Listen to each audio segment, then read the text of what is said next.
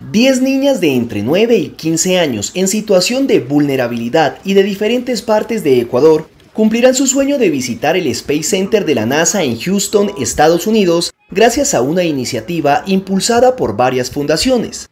Denominado Ella es astronauta, el programa es desarrollado por la colombiana Fundación Chi-Is con el apoyo de la ecuatoriana Fundación Mujeres Sin Límites, la Global Women Foundation que dirige la expresidenta ecuatoriana Rosalía Arteaga y ONU Mujeres. Las menores iniciaron este mes su preparación en el marco de esa iniciativa que combina clases virtuales con expertos en administración espacial aeronáutica y la visita in situ a las instalaciones que la NASA tiene en Houston el próximo agosto. Nadia Sánchez, fundadora de Chi-Is, organización que inició su andadura en Colombia en 2016 y que en 2021 ya envió a la NASA a una treintena de niñas, principalmente del país vecino, precisó que entre las seleccionadas de Ecuador figuran niñas de todos los rincones del país, incluida la región amazónica.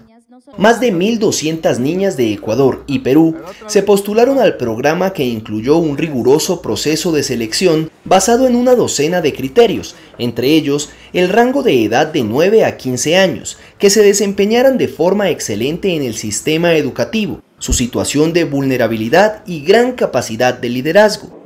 El programa consiste en cuatro meses en los que las chicas tienen clases virtuales tres veces a la semana con un profesor de habla hispana de la NASA, además de sesiones con expertos de las organizaciones aliadas que incluyen charlas inspiracionales de liderazgo sobre prevención del embarazo adolescente, salud mental y menstrual. El 19 de agosto está previsto que las participantes viajen a Houston por una semana, donde continuará su formación con nueve horas académicas diarias, además de actividades y encuentros con astronautas, científicas, médicas e ingenieras de la NASA.